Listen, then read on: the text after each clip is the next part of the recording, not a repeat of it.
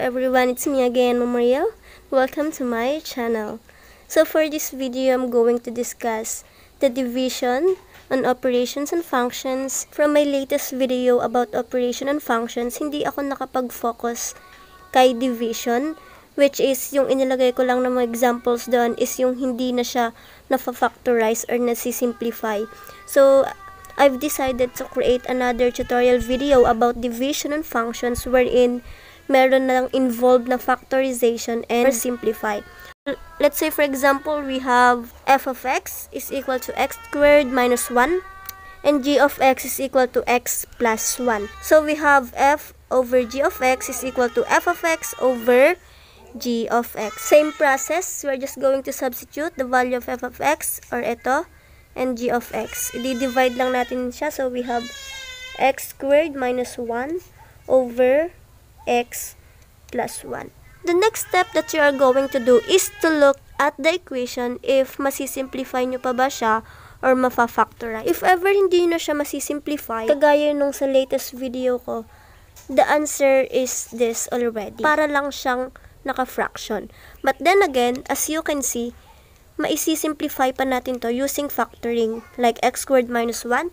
So, ano ba ang factor ng x squared minus 1? We have x minus 1 and x plus 1. So, how are you going to check if tama ba yung factor mo? Kapag mag-check kayo, i-check nyo palagi yung constant term, which is negative 1 times 1. The answer is negative 1. Tingnan nyo siya dito. Okay? Then, negative 1 plus 1, the answer is 0. Okay? So, kaya x squared minus 1 lang siya. So, over x plus 1 Okay, next is to cancel it out. Then the answer is x minus 1. Okay, look at example number 2. We have f of x is equal to 12x plus 6 and g of x is equal to 4x minus 2. So we're going to divide f of x is 12x plus 6 over g of x is 4x minus 2. Again, the first thing to do is tingnan ninyo kung kaya bang i-factor or i-simplify Okay, in this case, kaya siya. Hanapan natin siya ng factor, si 12x plus 6. 12x plus 6. 6 si second term. Try na din natin siya. And may factor naman siya kay 12 which is 6 times 2. So, we have 12 divided by 6 is equal to 2x. Then, 6 divided by 6 is equal to positive 1. Alright, so by that, na-factor na, na natin siya. If you're going to check, just do distribution property like 6 times 2x is equal to 12x and 6 times 1 is equal to 6. Alright, so positive 6 yan. Also, with regards on the denominator, 4x minus 2. So, ang factor natin dyan is 2 since 2 siya. So, we have 2. Okay. 2 divided by 4x is equal to 2x. And 2 divided by negative 2 is equal to negative 1. Okay? So, right after that, you're just going to divide 6 to 2 is equal to 3. And then, 2x plus 1 over, so 2x minus 1 na lang siya. And the answer will be 3 times 2x plus 1 over 2x minus 1. Okay, so next we have example number 3.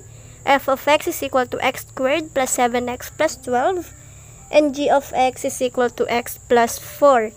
f of x is x squared plus 7x plus 12 divided by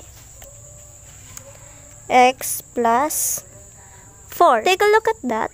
Yung numerator natin is a quadratic function, right? So what are we going to do by that? We are going to factor it out. And how to factor? Just have parentheses. Okay?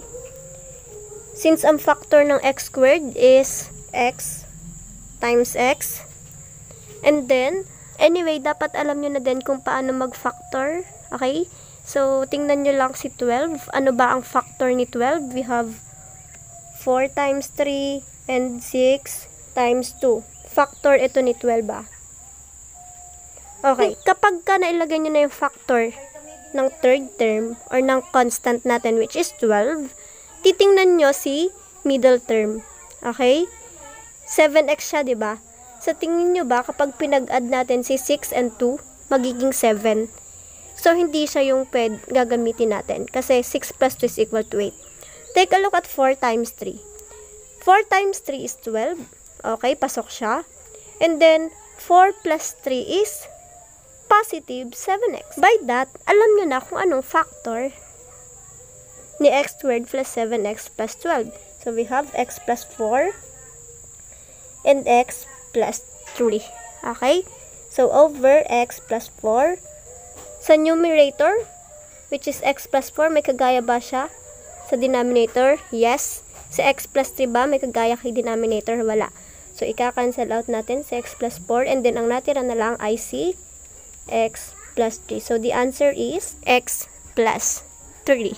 Okay, so take a look at example number 4. We have f of x is equal to x squared minus 2x minus 24.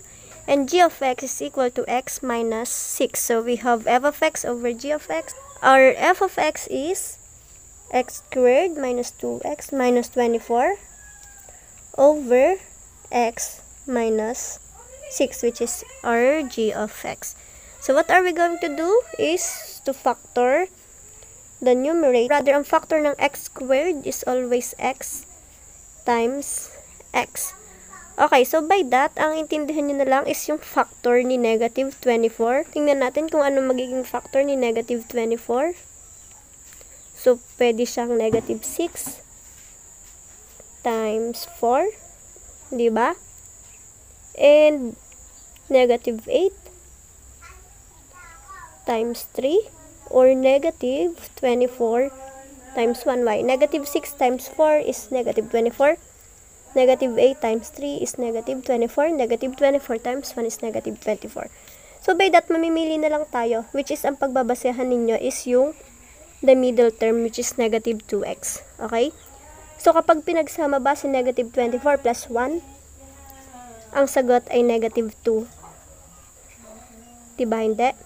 Kapag ba pinagsama si negative 8 and 3 or negative 8 plus 3, is it negative 2?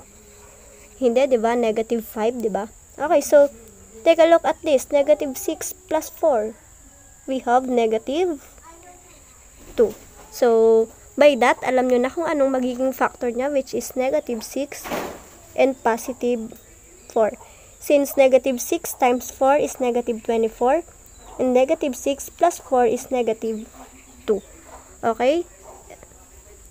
So, copy na lang si denominator, which is x minus 6. Then, cancel out yung magkatulad. And the answer will be x plus 4. Okay, so for example number 5, we have f of x is equal to 2x squared plus 3 and g of x is equal to 4x cubed plus 1. So we are going to divide 2x squared plus 3 over 4x cubed plus 1. Okay, so next thing to do is to look at the equation if kaya pa bang ma-reduce, kaya pa bang ma-simplify or ma-factorize. So, as you can see in the equation, we can do nothing about this. So, just stay as it is. So, yan na yung pinaka sagot natin. Okay, so ilalagay ko yung link sa description box. Um, wherein doon nyo makikita yung tutorial ko about operation and functions focus on addition, subtraction, and multiplication. Anyway, I guess that's it for this video. I hope you have learned something and I'm so glad to know your thoughts and suggestions. Comment down below. Magbabasa po ako. And any topics na masasuggest nyo about mathematics, gagawa natin yan ng tutorial. So, thank you so much everyone for watching. God bless us all.